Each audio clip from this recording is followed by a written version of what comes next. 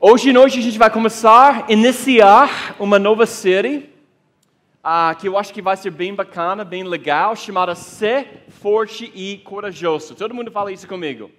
Ser forte e corajoso. Sabe, a gente tem coberto muitos livros desde eu comecei essa igreja ah, alguns anos atrás. Estivemos em Tiago, Efésios, João, Atos. Também a gente passou um pouco de tempo no Antigo Testamento estudando Provérbios. Inclusive, a gente passou cinco meses estudando os Provérbios. A gente passou um pouco de tempo também em Êxodo, uh, estudando os Dez Mandamentos. Mas raramente nós aventuramos profundamente num livro do Antigo Testamento do jeito que iremos ao longo das próximas sete ou oito semanas. E eu estou muito animado sobre esse desafio. E vocês? Está animado sobre essa ideia de estudar um livro? Inclusive, eu estava falando com alguns pastores amigos meus. A gente tinha um grupo de talvez 12 pastores que estavam aqui semana passada. A gente tinha uma parceria com Compassion International. Nós estamos plantando igrejas lá no Nordeste, em, em comunidades bem carentes. E eles estavam aqui, eu estava pesquisando um pouco. Por que pastor a gente faz isso? Ah, você já estudou ah, Josué? Ah, você já estudou Josué e ninguém tem estudado esse livro? Estou pensando, meu Deus, será que estou fazendo alguma coisa que ninguém ninguém estava pregando, ninguém já pregou isso na igreja dela e estava pensando, meu Deus, então, eu não sei como isso vai, né? Estudar um livro que ninguém conhece em alguns aspectos, né? A gente sabe aquela música, pelo menos em inglês, Joshua e, uh, vamos dizer, a Batalha de Jericho, Jericho, Jericho, não sei se você tem essa música, né? Mas a música que eu aprendi quando eu era pequenininha, mas não é um livro necessariamente que muita gente prega ou conhece muito bem. Mas um livro bem interessante, então eu acho que a gente está pronto para esse desafio de estudar a vida de um dos homens mais importantes do Velho Testamento. E aqui está a minha esperança. A minha esperança é que esta, nesta série a nossa fé seja desafiada e nossa obediência testada. Porque se você realmente pensar nisso, a vida cristã é realmente sobre fé e obediência. A fé gera obediência e a obediência continua a, a, a nos fazer crescer na fé. Mas como a gente vai fazer isso? Crescendo na fé e obediência. Crescendo em duas coisas. Duas coisas. Em força e também em coragem para seguir a Deus e seus planos para as nossas vidas, como Josué fez.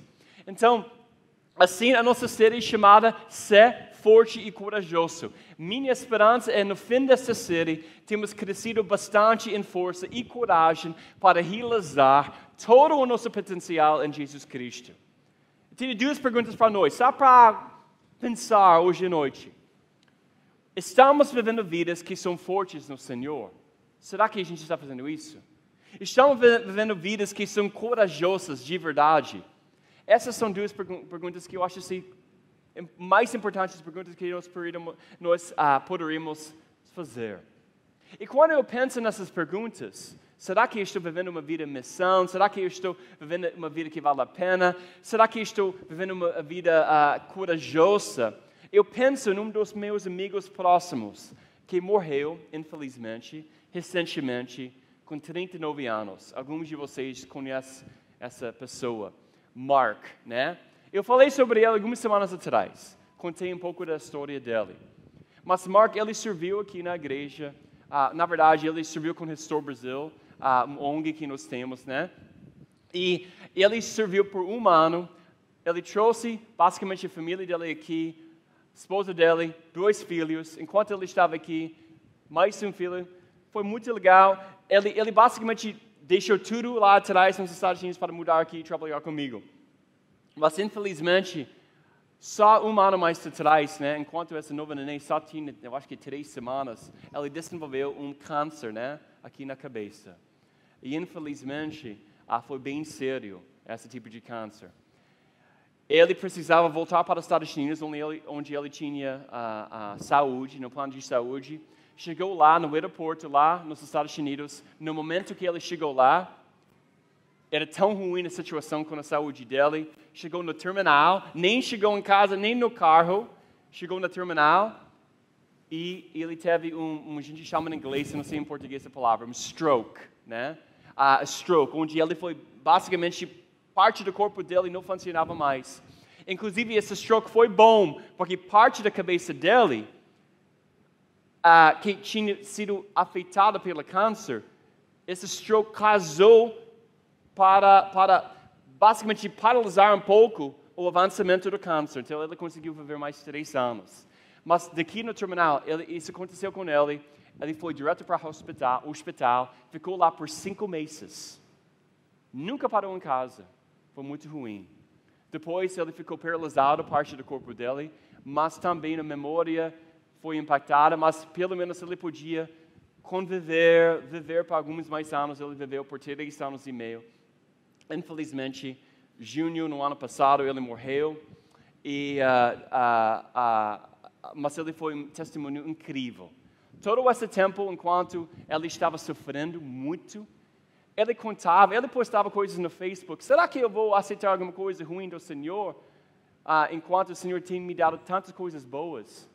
Esse tipo de pessoa que entende a soberania de Deus, que se alegra mesmo que ele estava sofrendo coisa pior possível.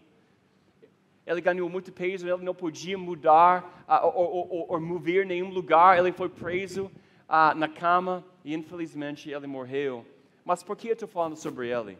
Porque ele foi um testemunho incrível, incrível da graça de Deus. A atitude dele ao longo desse tempo foi excepcional. É tipo de coisa onde eu penso, cara, não, não cara, desculpa, eu penso, eu penso, será que meu legado vai ser alguma coisa parecida? Que talvez ele não plantou muitas igrejas, talvez ele não tinha uma plataforma no país, talvez ele não foi diretor de uma organização que planta igrejas ou, ou um pastor. Ele foi só um missionário que serviu, mas o testemunho dele fala tão alto que até hoje, hoje uh, seis meses depois, as pessoas estão ainda falando sobre ele, como eles uh, têm saudades dele. Né? Então, Mark foi um excepcional exemplo para todos nós.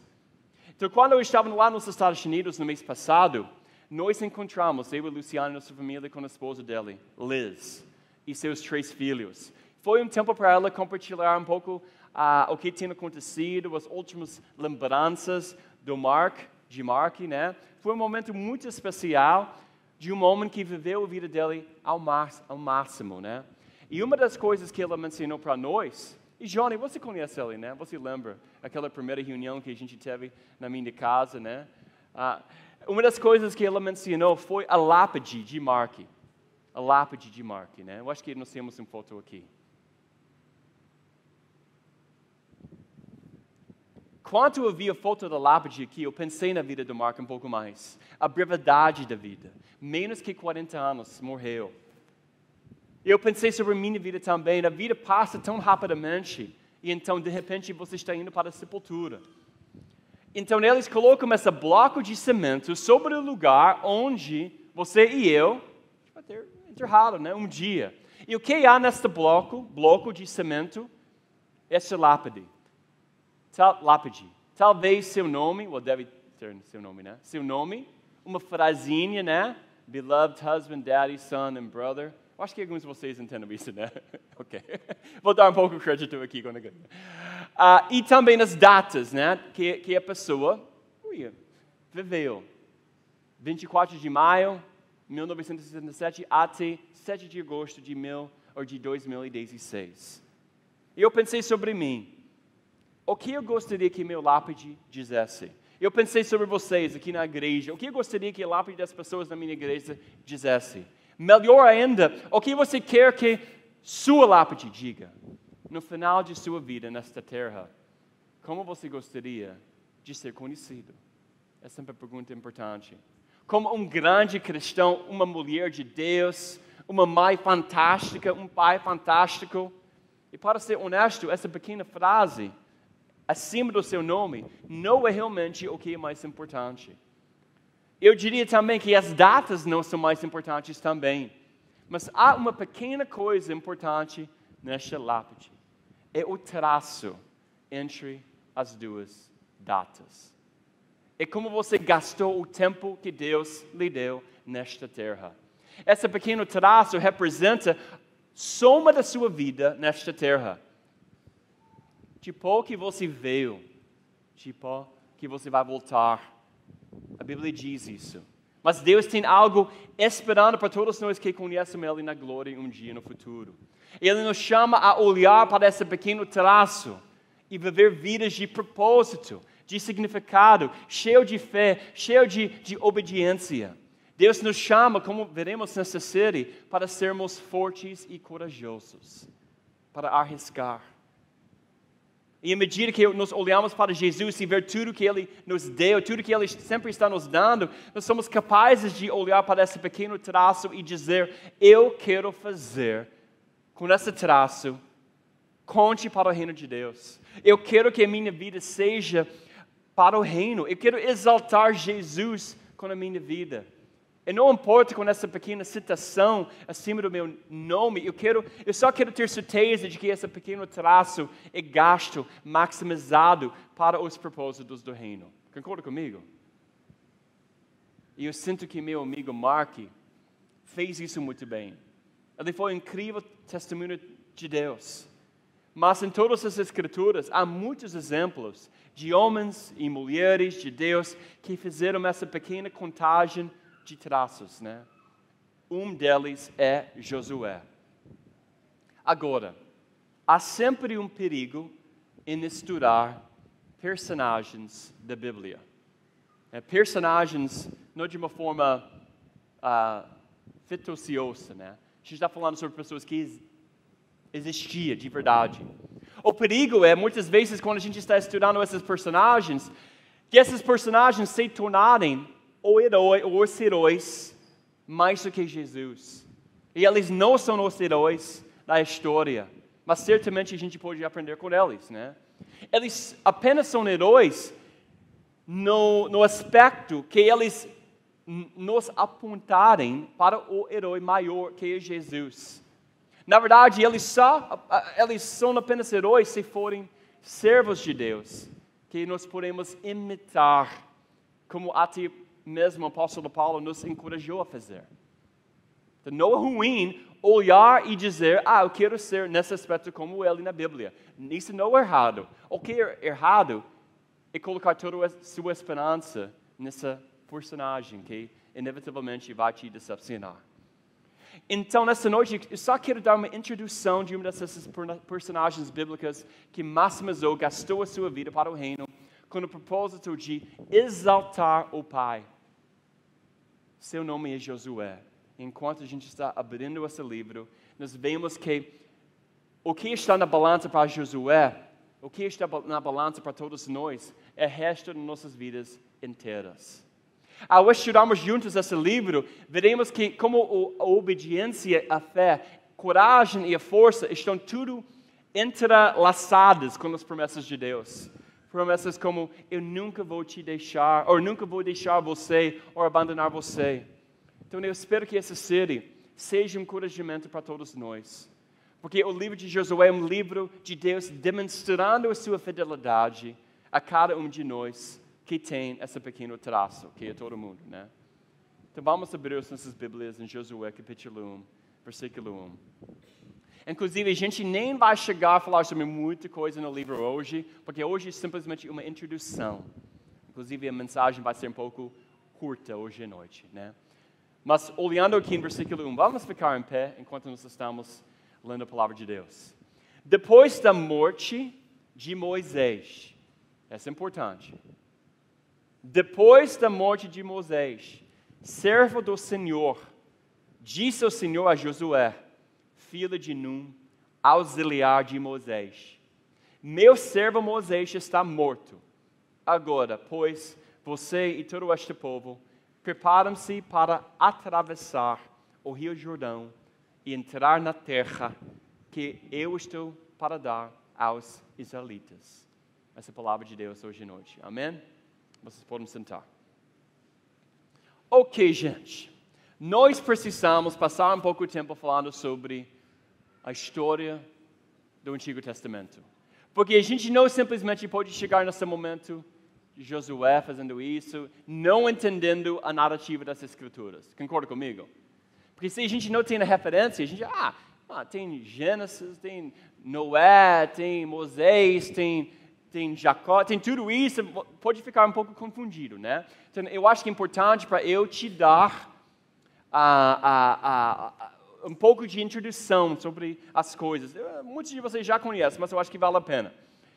Eu não acho que é um exagero dizer que em nenhum momento na raça humana a liderança foi mais necessária do que essa nessa transferência de liderança entre Moisés e Josué. Eu sei que todo mundo está falando sobre Donald Trump, ok? Importante, mas eu vou dizer alguma coisa. Moisés, a transferência entre ele e Josué foi muito importante. Moisés foi o cada. Deus usou Moisés de uma forma incrível. Ele tinha poder, unção, tudo, o Espírito. Moisés, a, galera estava na guerra, se Moisés, eh, eh, os braços deles eram assim, eles estavam ganhando. Mas se for assim, eles estavam perdendo, estão me entendendo? Moisés tinha muito poder, então o que acaba acontecendo? Os irmãos dele estavam colocando, ok, nós queremos que seus braços sejam assim, porque se não for, a gente vai perder essa batalha. Moisés tinha muito poder. As milagres do Velho Testamento são incríveis, né? aquela mar que eles simplesmente andaram. É, é, é incrível, né? A, tudo isso é incrível, né? Eu não tenho palavras na sua língua para explicar como tudo é incrível, mas eu acho que dá para entender. Bom? Bom. Aquela coisa com o mar, né? Vou chegar em casa, Luciano e Jay. Será que você pode explicar um pouco melhor do que aquela coisa que aconteceu com o mar? Não está aqui, irmãos, ok? Me dá um pouco de graça, né? Então, Moisés era inegavelmente o maior de todos os santos do Antigo Testamento. O Senhor conhecia Moisés face a face. Em uh, Deuteronômio 34, 10, nós lemos, em Israel, Deuteronômio 34, 10, nós lemos, em Israel nunca mais se levantou profeta como Moisés, a quem o Senhor conheceu face a face. Assim, nós, você pode tentar imaginar o desespero do povo quando descobriram que Moisés tinha morrido. E a parte difícil foi que Moisés os tinha levado para a beira, a beira da terra prometida, a terra que Abraão tinha prometido, mas também nunca viu. Imaginam, tanto Abraão e Moisés nunca realmente conseguiu, conseguiram ver essa terra prometida. E você vê desde o princípio que o padrão foi estabelecido quando Deus disse a Abraão, em Gênesis 12, 1, vai da tua terra, do teu povo e da casa dos teus pais, a terra que eu te mostrarei. Esse foi um comando para ele. E não foi um comando, comando acompanhado necessariamente por uma mapa de estrada, nenhuma programação ah, detalhada, nenhuma explicação como isso aconteceria. Não tinha GPS, não tinha Waze, ok? Não tinha essas coisas, né? Tudo o que Abraão tinha era a promessa do Senhor de que ele lhe mostraria a terra. Portanto, esse mandamento e a promessa corram juntos em toda a Bíblia. E o plano de Deus não morreu, no entanto, não morreu quando, Jesus, quando Moisés morreu. Deus ainda cumpriria a sua promessa. Ele tinha alguém já esperando, e seu nome era Josué. Agora quero apresentar para você onde Josué encontra-se na grande narrativa da história da redenção. Como Josué se tornou o líder de Israel? Bem, Abraão, o pai da nação, e Sara juntos se tornaram os pais de Isaac, né? Certo? Ou Isaque? Não, Isaac, né? Bom. Lembre-se que Sara, o que ela fez? Ela estava rindo, por quê? Por que ela riu? Porque ela pensou, eu nunca vou ter filhos. Olha a minha idade. Eu nunca vou ter filhos. Mas depois ela teve um filho muito especial, ok? A, a Isaac. Então, Isaac teve dois filhos também, Jacó e Esaú. Jacó e Esaú. E Jacó, Jacó teve 12 filhos. Ele estava bastante ocupado, aparentemente, né? E um dos seus filhos era José. E José era odiado pelos, por seus irmãos, porque o seu pai amava ele mais do que todos os outros. Vocês, algum de vocês conhecem essa história? José, José, continuou a contar aos seus irmãos sobre sonhos que ele tinha, onde todos os irmãos deles estariam uh, servindo ele e como ele seria governando sobre eles, né? Eu não tenho certeza que isso foi a melhor ideia para ele contar tudo isso. E seus irmãos odiavam ele e por ressentimento o venderam como escravo. E ao longo dos anos, Deus mostrou mesmo assim favor a José e ele se tornou o segundo mais importante, mesmo que ele estava vendido em escravidão, o segundo mais importante na terra apesar de ser, uh, ser vendido em escravidão, enquanto o, o, resto dos seus irmãos experimentou um fome, um fome bem bravo. E um dia eles foram reunidos, né? E então, quando pegamos a história em Êxodo, capítulo 1, José e o resto da geração morreu. Então, um novo rei surgiu do Egito que não conhecia José nem da sua história. E este rei estava preocupado com o povo de Israel por isso ele colocou todos na escravidão para os egípcios. Né? E Moisés levantou-se durante esse tempo. Eu não, vou, eu não vou entrar um monte de detalhes sobre Moisés. Apenas eu vou dizer que eh, depois de estudar isso um pouco mais, lembrar todos os detalhes, eu tenho uma vontade de estudar Êxodo no futuro, porque eu acho Êxodo um, Êxodo um, um livro fantástico também. Mas Deus usou Moisés para libertar seu povo após de 400 anos de escravidão. E eles continuaram andando no deserto por muitos anos, onde Moisés morreu. E Moisés era o predecessor de Josué. Josué nasceu no Egito. Ele era o primogênito de um homem chamado Nun, ok? é, é muita coisa, né? Imagina uma língua estranha. Estou tentando meu melhor para pronunciar tudo corretamente. Eu acho que tudo bem. Nun. Seu avô era Eli, ou Eli Chama, que estava no comando de 40 mil pessoas. O avô. 40 mil pessoas. Eu estou certo de que Josué tinha aprendido muito sobre liderança, liderança simplesmente assistindo o seu avô. Houve uma longa época de tempo antes de Josué se tornar o líder, 80 anos. Então, basicamente, ele assumiu a liderança com 80 anos de idade. Ok? No entanto, durante todo esse tempo, Josué, ele, era, ele foi paciente antes de entrar no papel que o Senhor estava prestes a dar a ele. Ele esperou. Ele tomou tempo para se preparar para ser equipado. Ele teve tempo para, antes de assumir a liderança e a autoridade, que eu acho que é uma boa lição para todos nós, né? Josué sempre estava ao lado de Moisés. Ele observava Moisés em todos os sentidos. Viu Moisés sucedendo, uh, quando Moisés estava enfraquecido ou arrependendo. Ele viu e aprendeu muito com Moisés.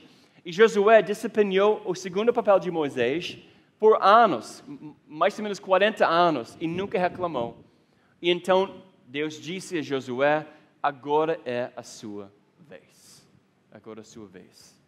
A gente não pode esquecer que Josué teve várias experiências iniciais que o qualificaram para esse trabalho. Eu vou tirar somente três aqui, além do fato que ele estava caminhando com, caminhando com Moisés. Primeiro, Josué sabia desde cedo da sua vida que a vida dele era um dom de graça redentora de Deus. Josué estava por perto quando a Páscoa aconteceu, ok? Não estou falando sobre Páscoa como com os coelhos, né? Estou falando sobre Páscoa inicial, né? Ele foi poupado por Deus quando o anjo da morte passou por todas as casas durante a Páscoa. Ele sabia que Deus separou ele. Basicamente, Deus não fez nada com ele. É, o anjo passou de uma forma milagrosa. Então, ele entendeu a graça de Deus. Isso é importante. Marcou a vida dele. Segundo lugar, Josué tinha experimentado intimidade com Deus. E nessa do capítulo, capítulo 24, ah, ele teve uma revelação de Deus. Ele viajou com Moisés ao Monte Sinai, né? Ele viu a glória de Deus revelada. Ele ficou cativado por ele. Ele também amava estar na presença de Deus, dependendo de Deus. Nós lemos em, em Êxodo, capítulo 33, que ele não se afastava da tenda. Isso é importante. Está me entendendo? Ele amava estar com Deus. Josué tinha uma doce intimidade com seu Deus. Segunda razão. Terceira razão, Josué foi ungido pelo poder do Espírito Santo. Ele foi separado para essa tarefa. Números 27 diz: Aqui há um homem em quem o Espírito habita. O Espírito de Deus estava em Josué. Agora, aqui está a coisa legal. A coisa legal para todos nós. Tudo isso a graça redentora de Deus, o poder do Espírito, esse aspecto de, de andar em intimidade com Deus, tudo isso é disponível para nós em Cristo. Tudo isso, é alguma coisa, tudo isso é alguma coisa que nós podemos experimentar hoje em dia também, graças a Deus. Então, o que Josué foi chamado a fazer, para fazer? Siga os mandamentos de Deus ou morra. Deus deu ordens a Josué, Deus manda que ele atravesse o rio Jordão com a promessa que Deus dará a ele e seu povo a terra prometida. Note que eu estou falando de um comando e promessa. Tanto o mandamento como a promessa dependem sempre na soberania de Deus. É somente quando o povo de Deus acredita na promessa de Deus e obedece ao mandamento de Deus que eles vão experimentar ou eles entram na experiência de comunhão com Deus no nível relacional mais profundo. A mesma verdade para nós hoje em dia. Porque muitas vezes nós deixamos de obedecer os mandamentos de Deus? Porque nós realmente não acreditamos muitas vezes nas promessas de Deus? Essa é a razão. Os dois sempre andam juntos, né? A fé leva à obediência e a obediência, a desobediência está sempre enraizada na desconfiança. Está me entendendo? Porque muitas vezes nossos corações são duros. Talvez você tenha pensado nisso na sua vida. Deus está chamando você para fazer alguma coisa. Você não sabe como isso vai acontecer, você não sabe como você vai fazer aquela coisa quando isso vai acontecer. Você é como Abraão ou Moisés. Você tem uma promessa só, uma promessa, mas nenhuma explicação de como essa promessa virá. Você só sabe que Deus está chamando você para ter fé e obediência ao longo do caminho.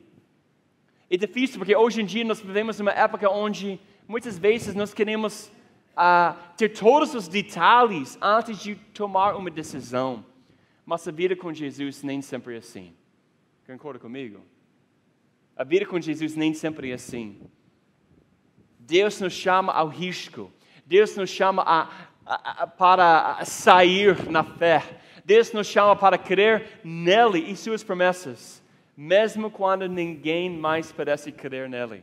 Deus nos chama a obediência radical, mesmo que o mundo está dizendo isso não é pecado, pode fazer. Ou esse não é tão ruim, não tem problema, todo mundo está fazendo isso. Deus nos chama a um nível de intimidade que o mundo não entende. O mundo não entende isso. E há tem muitos na igreja não entendem isso. E há tem muitos no púlpito não entendem isso. Ele nos chama a fé. Ele nos chama a obediência. Antes de encerrarmos hoje à noite, a gente não pode esquecer onde Josué estava indo. Ele estava indo para Canaã, né? certo? Ele estava indo para a terra prometida. Se você ler o terceiro e quarto capítulo de Hebreus, você vai ver que Canaã, a própria terra que Josué dirigiu, incrível imagem do descanso espiritual e da vitória que todos os crentes em Jesus Cristo vão desfrutar. E a gente não está falando simplesmente sobre o céu. A gente está falando sobre salvação. Quando nós estamos falando sobre a terra prometida, nós estamos falando sobre um lugar onde você vai desfrutar todas as bênçãos espirituais que você tem em Cristo. Essa é terra prometida, que você pode experimentar hoje em Cristo. Porque a vida eterna começa agora, para aqueles de nós que têm um relacionamento com Cristo. A porção completa de todo crente em Jesus Cristo, nós podemos possuir. Canaã era o alvo para o qual Deus estava guiando o seu povo. Quando apareceu Moisés na sarça ardente, Deus prometeu não só livrar os israelitas da escravidão, mas também para trazer eles para uma terra que flui com o quê? Leite e mel. A libertação do povo de Deus do Egito era apenas uma preparação para o gozo de Canaã. Em outras palavras, a Páscoa, a, o derramamento do sangue, a travessia do Mar Vermelho, a destruição do Faraó, tudo teria sido inútil a menos que tivessem conduzido para essa terra prometida. Então, isso é muito significante, né? E assim como nossa entrada para o céu, para o céu, repousa sobre Jesus, entrada na terra de Canaã foi confiado a um representante. Neste caso, era Josué. Ele foi o administrador de seu povo para esse tempo. Graças a Deus que alguém maior do que Josué, Abraão e Moisés veio. Graças a Deus. Aquele que nos deu todas as bênçãos espirituais que nós poderíamos imaginar. Jesus Cristo. Aquele a quem foi dado todo o poder para que tivéssemos seu espírito e tivéssemos também poder sobre o diabo. No entanto, uma bênção completa, eu acredito, na vida cristã nem sempre é concedida imediatamente. Devemos estar ansiosos e prontos para recebê-lo. Devemos, como nos lemos nas Escrituras, agarrar aquilo que é a nossa, que é a nossa herança em Jesus Cristo, sabendo que em cada passo o amigo vai nos enfrentar também, mas sabendo que a batalha já foi alcançada, já foi conquistada, graças a Deus. Josué sabia disso, ele tinha essa fé, ele sabia que Canaã estava à vista, ele sabia que essa terra prometida estava à vista. Ele não sabia como tudo isso ia acontecer, mas ele sabia que ele precisava ter fé e obediência nos mandamentos que Deus lhe dará. Dera, né? Ele sabia que aquele pequeno traço em seu lápide, falando de uma forma figurativa, né? só teria significado se ele andasse em fé e obediência. Então, deixe-me perguntar a todos nós, hoje à noite: você tem fé esta noite? Você está andando em obediência? Sim, não. Eu quero encorajar você a se apegar aos comandos e às promessas que Deus lhe deu. Como você vai fazer isso? Conhecendo Jesus Cristo. É Cristo que vai te dar o poder para obedecer a Deus. Ele está chamando você como ele chamou Josué numa jornada. Talvez você não pode saber exatamente onde ele vai te levar. Você não vai saber todos os detalhes, mas ele te chama mesmo assim. Talvez nós temos algumas pessoas aqui hoje à noite que não têm relacionamento com Cristo que, que não tem ideia sobre tudo isso. Se você não tem esse relacionamento com Cristo, você não vai entrar na terra prometida. Você não vai andar na fé. Você, nunca, você não vai para o céu. Você vai experimentar a eternidade separada de Deus num lugar que a Bíblia chama o inferno. Tem que ser fiel, é o que a palavra diz. Deus está chamando você para andar em sua promessa de vida eterna. Ele está chamando você para, ser, para se arrepender dos seus pecados, para, se, para nascer de novo. E somente desta maneira que você vai ter uma direção verdadeira para a sua vida, assim como Josué. Então, nessa primeira pergunta, você conhece Jesus Cristo?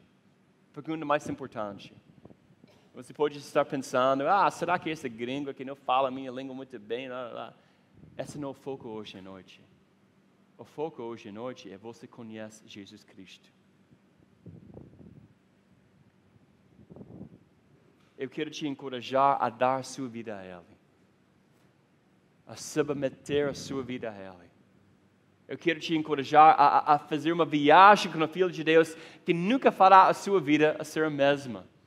Nas próximas semanas vamos examinar todas essas promessas né, nas Escrituras, mas nada vai fazer sentido se você não tiver um relacionamento pessoal com Jesus Cristo. Então a gente vai examinar essas promessas. Ser forte e corajoso. Eu nunca te deixarei nem te desampararei. A gente vai estudar isso. Mas a gente tem que ter um relacionamento com o nosso Salvador e Senhor Jesus Cristo. E para aqueles de vocês que já têm isso, já têm relacionamento com Deus, a minha esperança é que ao longo dessas oito semanas você vai crescer na fé e obedi obediência. Lembro dizer até santidade. Estudando esse livro comigo.